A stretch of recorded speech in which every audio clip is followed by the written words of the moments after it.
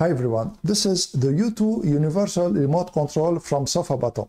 In my video, I'm gonna show you how to set it up using the Sofabaton app on your smartphone. I'm gonna also show you how to add devices to it so that you can control them with this remote control. And most importantly, I'm gonna show you how to assign macros to one of the buttons so that you can control two or more devices with a press of only one button. So for instance, you can turn on or off your TV and speakers with only one press of a button. As a full disclosure, Sofabaton reached out to me and sent me this free sample to test it, but the opinions you're gonna see in this video are only mine.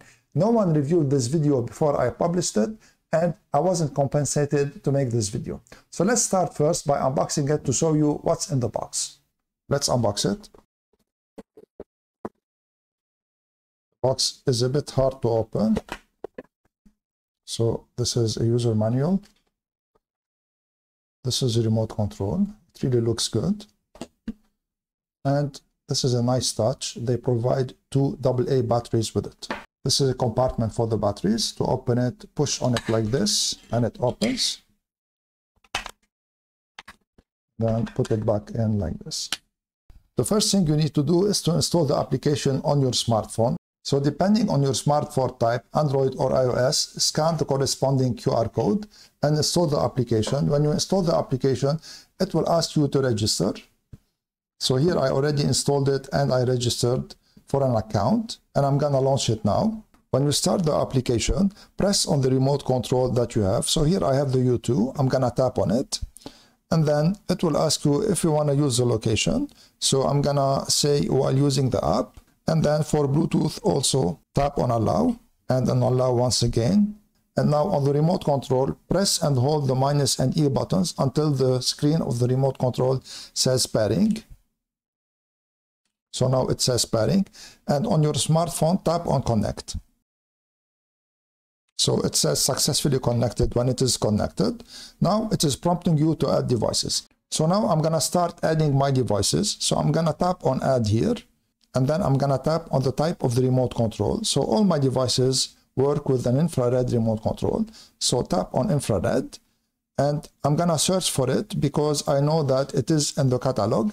So it is a Roku TCL TV. So I'm gonna tap on search and then here I'm gonna type Roku, select Roku, and then here I'm gonna scroll until I find TV and then this is it, TV TCL.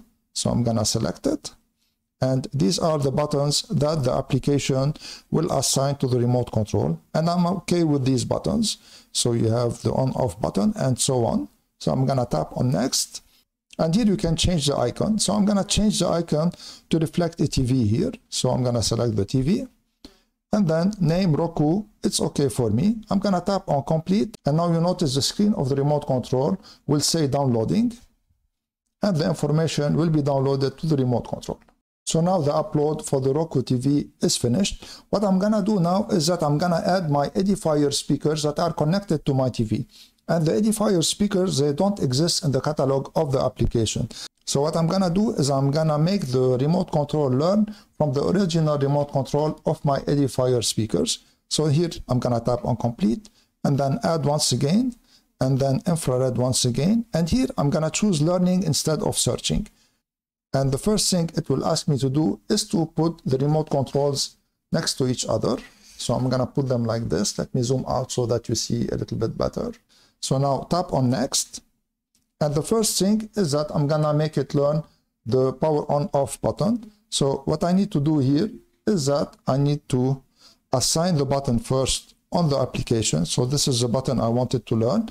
And now I press the on off button here and it will learn it. It says learning and it learned it. And I'm to do the same for all the important buttons that I use. So I'm to put the volume up and down buttons, and then the mute button, and then the input selection buttons. So I'm to do them quickly as I've done the on-off button. So now when you finish learning the buttons, tap on next, and then tap on next once again.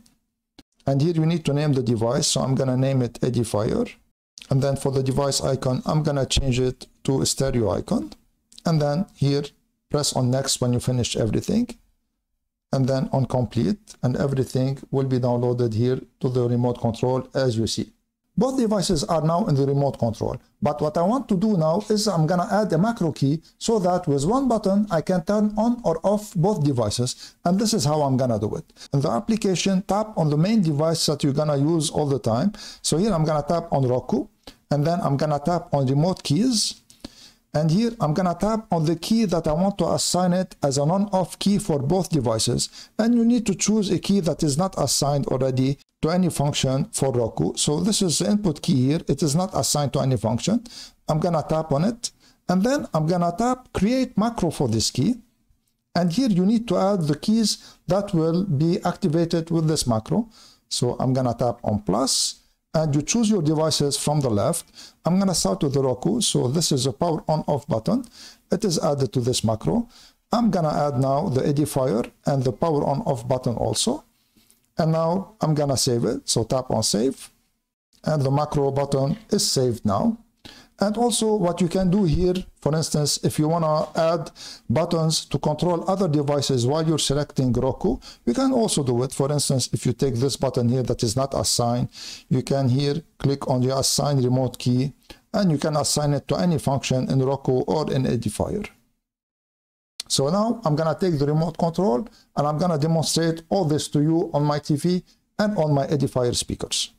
So now I'm gonna demonstrate to you the remote control and this is my Roku TV and these are my edifier speakers on the left and on the right. And you're gonna notice the macro button that I've put, this one here, it's gonna turn on both of them. So I'm gonna put it here and then I'm gonna press and notice the LED light on the edifier turned on also.